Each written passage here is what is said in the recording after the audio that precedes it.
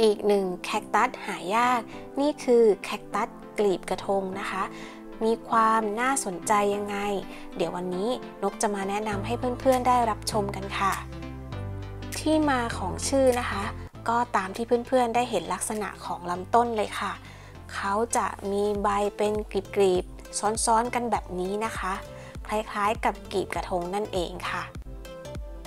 คคตัสทั่วไปที่เราได้เห็นกันนะคะ ก็จะไม่ใช่รูปทรงนี้นะคะ แต่นี่คือแคคตัสนะคะ มีหนามไหม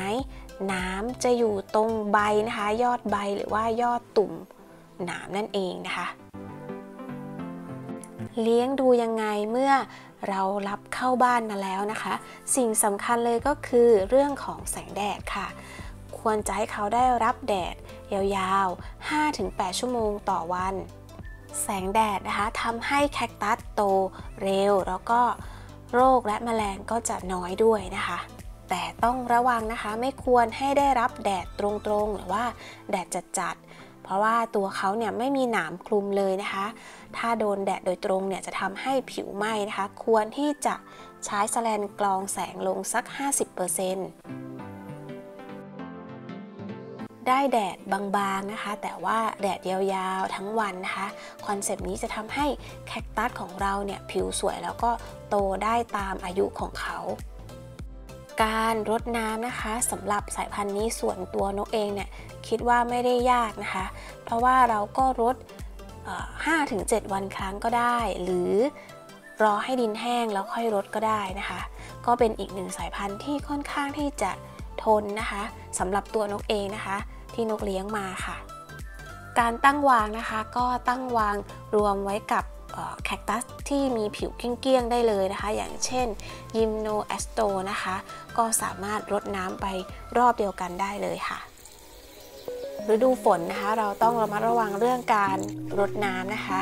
ถ้าเกิดว่ามีความชื้นหรือว่าฝนตกติดต่อกันหลายวันเนี่ย ก็ต้องเว้นระยะห่างการรดน้ำค่ะ ราะว่าดินจะแห้งช้ากว่าปกตินั่นเอง ปุ๋ยที่นกแนะนำนะคะ ก็เป็นปุ๋ยละลายช้าหรือว่าเรียกว่าปุ๋ยออสโมโคสนะคะ ซื้อได้ตามร้านขายต้นไม้นะคะง่ายๆ ใส่ทุก 4-6 เดือนนะคะ สัก 5-10 เม็ดต่อต้นพอค่ะควรจะเปลี่ยนดินทุก 1-2 ปีนะคะ ดินที่ปลูกก็ควรจะเป็นดินปลูกแคคตัสค่ะ เพราะว่า โปร่งแล้วก็ระบายน้ำได้ดี นี่นะคะเราก็สังเกตได้ว่าดินปลูกแคคตัสนะคะ ก็จะมีส่วนผสมของเพอร์ไลท์แล้วก็หินภูเขาไฟนะคะ ช่วยทำให้ดินโปร่งแล้วก็ระบายน้ำได้เร็ว เมื่อไหร่ที่เราจะได้เห็นดอกนะคะ สายพันธุ์นี้จัดว่าต้องใช้เวลาสักหน่อยค่ะ2-3 ปีเริ่มจากการเพาะเมล็ดเนี่ยเราอาจจะยังไม่ได้เห็นดอกนะคะ อาจจะต้อง 4 ปีถึง 5 ปีขึ้นไปค่ะ ดอกก็จะขึ้นอยู่บนยอดด้านบนนะคะ ส่วนตัวนกเองนะคะจัดเป็นแคคตัสที่เติบโตไปอย่างช้าๆนะคะ แต่เขาก็มีเอกลักษณ์เฉพาะตัวนะคะ ไม่เหมือนกับต้นอื่นค่ะ จัดเป็นไม้คอลเลกชันที่น่าสะสมอีกหนึ่งสายพันธุ์นะคะ เห็นแบบนี้นะคะวิธีการขยายพันธุ์ขยายพันธุ์โดยการเพาะเมล็ดนะคะ ไม่นิยมเด็ดนำใบหรือว่านำกลีบกระทงเนี่ยออกมาช้ำนะคะ ต้องรอให้มีดอกแล้วก็ติดฝักเมล็ดค่ะ เนื่องจากว่าโตช้านะคะ แล้วก็ใช้เวลาหลายปีกว่าจะออกดอก จัดว่าเป็นแคคตัสที่ราคาสูงขึ้นมาสักนิดนึงนะคะ แต่ก็ไม่ได้แพงมากค่ะ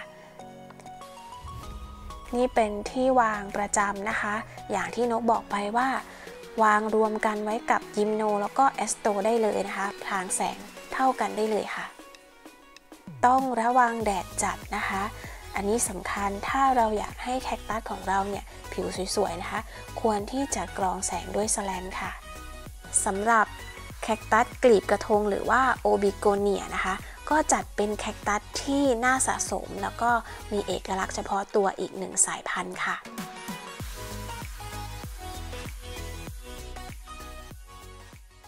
เพื่อนๆท่านใดมีความคิดเห็นอย่างไร สามารถคอมเมนต์แนะนำบอกนกมาได้ใต้คลิปได้เลยนะคะ